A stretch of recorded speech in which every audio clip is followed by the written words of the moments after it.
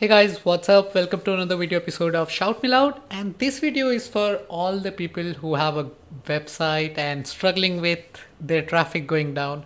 So if you have received my newsletter today, you are probably aware of keyword cannibalization. If you are not subscribed to my newsletter, but you are watching this video for the first time, so I think you should read, go ahead and read this article first about keyword cannibalization. It is a serious issue and chances are, especially if you have an old website or if you kind of churn out many content around the same topic, you might be suffering from keyword cannibalization. So let's understand keyword cannibalization in simple word. So what happens is let's say you want to uh, you're trying to rank for a certain keyword and you end up creating two three articles around it. Now this this kind of activity confuses google that which article they should be ranking for. And in return what they do what google does is it will downrank all the three articles because all these three articles are trying to rank for the same keyword. And it is a serious issue. Now the solution to this is you need to first find which of the pages are trying to compete for the same keyword. And you need to take some action. And I've already outlined some action like you know you can fix on page SEO update internal links delete the content or merge to content or easy one use canonical tag. Now uh, I'll let I'll leave all this thing for you to go ahead and read in the article. I'll leave the article link in the description. But what I'm going to show you in this video is how you can actually identify those keywords, those pages which are competing for the same keyword.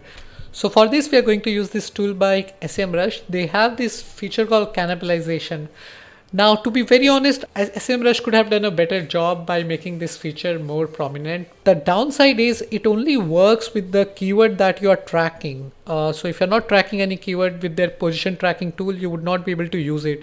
And I think that's a significant limitation.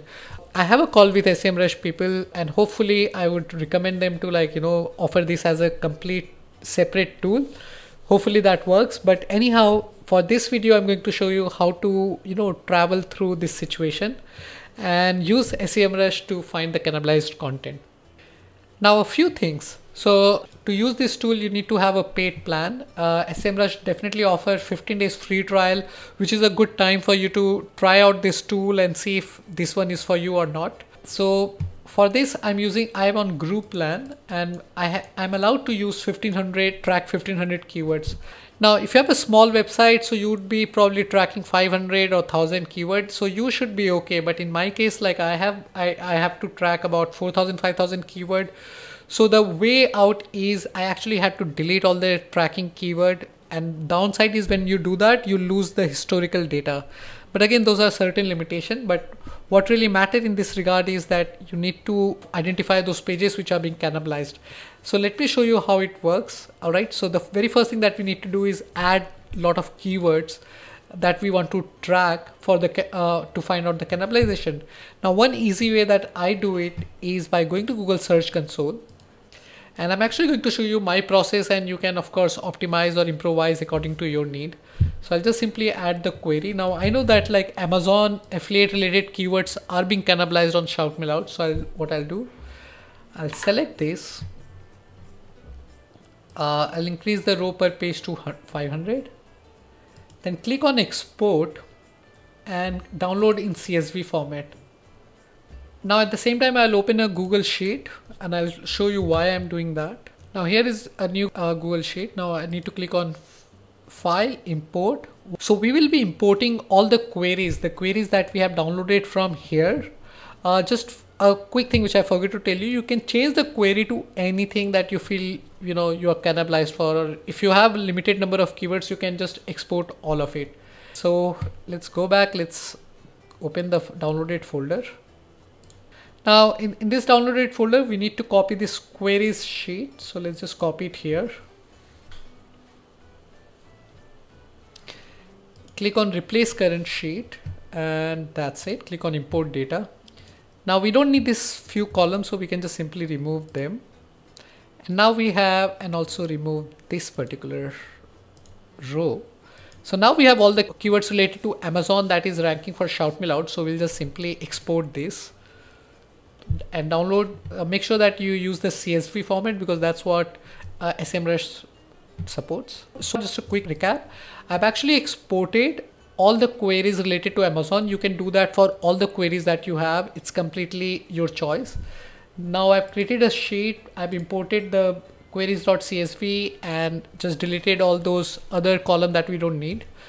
And now I have a CSV file with all these queries. Now let's go back to SEMrush position checker and make sure that your main website is selected. Click on add keywords. Select the open full editor. Right here we will you would want to select the import file feature. Let's do that. And then select the spreadsheet that we have just created now you, you have an option to add a tag if you like, otherwise just click on add to project, click on update. Now all this keyword has been added. Now at this stage, I would definitely like to give it few minutes for them to track all the keyword ranking. Now in this case, like actually SEMrush is pretty blazing fast and like I've already got all the ranking. So now the next thing you need to do is go to cannibalization and as you can see it's quickly showing me all the pages that are cannibalized so I'll just simply click on this and it, it is showing me all the affected keyword or I can actually go to keywords expand this and it can it, it is showing me like for this particular keyword these two pages are trying to outrank each each of them one is on the first rank and one is on the third rank. Now uh, in this case i may not take some action because these two are two different posts and sometimes it's quite natural that certain domain can rank on the first page for the similar query. And this, this happens when when you have a good domain authority and for certain topic you have more authority than most of the blogs so by doing this you'll be able to find you know a lot of lot of this pages which are competing for the same keyword. Now you need like for example these two pages are quite identical and they are ranking on the third and fourth position. Now i believe like if i merge them I should be able to take the first position because right now what's happening my even my internal links are juice is passing to two different URL now they all will be combined to one URL so from here I, I have multiple choices I can actually delete one of them or I can merge one of them or I can do canonical tag. Now what action you need to do is something that you need to decide. I highly recommend that you read this article. I have given everything over here. I, again, I'll leave the link in the description. So once you have done this, now the next thing you need to do is you need to add more keywords. So here is my little shortcut that I use. So what I'll do is, uh, so what you need to do is you need to delete all this keyword if your keyword quota is finished what you can do is you can click on this click on add new device. Let's just select India some other location. It does not matter in this case.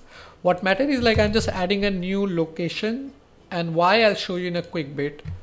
So this is just for test purpose. You don't this is does not really matter. So there is two way I can delete all those keyword. One is actually I can go I can go to this particular area click on overview and you know I can just select all the keyword here remove one and so you can see like I can delete only 100 keyword at a time and I need to repeat this process 900 times uh, sorry nine times. So what I can do is I can just simply go here delete this whole device and location. And that's it turn up it's all gone. So now what I'll do I'll just repeat this same process for the other queries that I have and this way I'll be able to find all those pages which are being cannibalized. Now I feel this this process is little tedious and I hope like SEMrush make these changes because I believe cannibalization is a serious issue. A lot of domain and lot of bloggers I know are being affected by this especially when you're dealing with a website with a large size position tracking is not the best place for this feature either way but I, I really like the overall feature of cannibalization here. And guys go ahead and read this article. I hope if you're fixing your website this article and this video helps you. I'll leave the link for semrush trial code. Full disclaimer when you buy a plan using this code i'll get a commission. However this would not cost you anything and it's going to help me to buy a coffee. Either way guys uh, i hope this video has helped you. And if you like this video do like and subscribe to my channel. I will see you in the next video. Bye bye this is Harsh Agrawal